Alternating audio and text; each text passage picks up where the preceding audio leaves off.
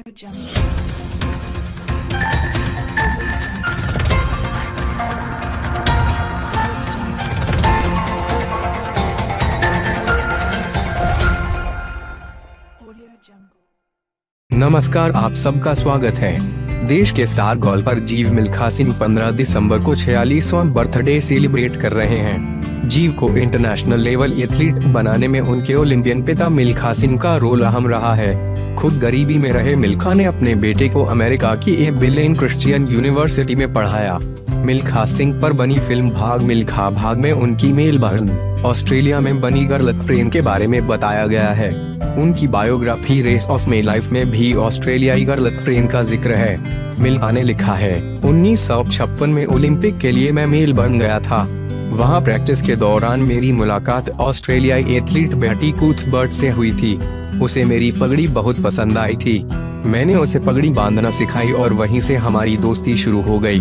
मैंने उसे नीले रंग की पगड़ी गिफ्ट की थी। कुओ तातयोन मारक। बेटी ने तब तीन गोल्ड मेडल जीते थे और मेरा दिल भी।